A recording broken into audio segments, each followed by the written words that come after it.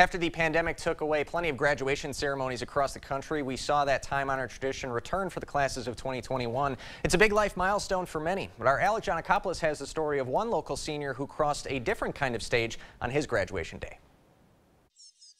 When school is out, the weights in the Holmen weight room don't see too much action. Until Markos Cash heads into the gym. That's his warm up. Markos doesn't miss a day of practice. And when he's in here, he really busts his rear. Working alone doesn't bother Markos, who had a hard time fitting into team sports. He um, had really struggled previously to find a place where he fit in. He had explained to me that his autism really causes him to have some social anxieties and trouble with peers. Yeah, it kind of started when I was a bit shy because I was never really much of a people person. The only competition is just myself. So powerlifting was perfect for Markos, allowing him to compete with himself,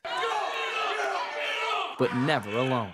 That helped build up my social skills, and because I was working with others, um, it helped a lot. Just knowing you're in a great place with great people. Having a strong support net around him, Markos applied himself and qualified for nationals. But there was a problem. Due to COVID, they pushed our national championship back um, by a few months, actually. So we're looking at competing the last week of May. Graduation was going to be on the same day as when I lift. So between lifting and walking, Markos found the best of both worlds. Mom and Dad brought along his uh, graduation cap and gown and had a, got a picture of Markos on the platform which he competed on at Nationals um, in a cap and gown. That smile was much bigger on that platform than it would have been on the graduation stage.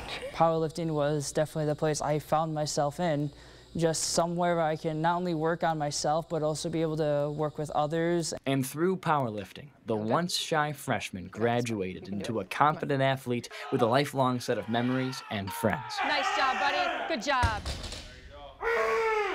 Okay, I'm done now. Reporting from Holmen, I'm Alec Giannakopoulos, News 8 Now Sports. And Markos will continue to powerlift when he attends UW Eau Claire this fall. We'll be right back.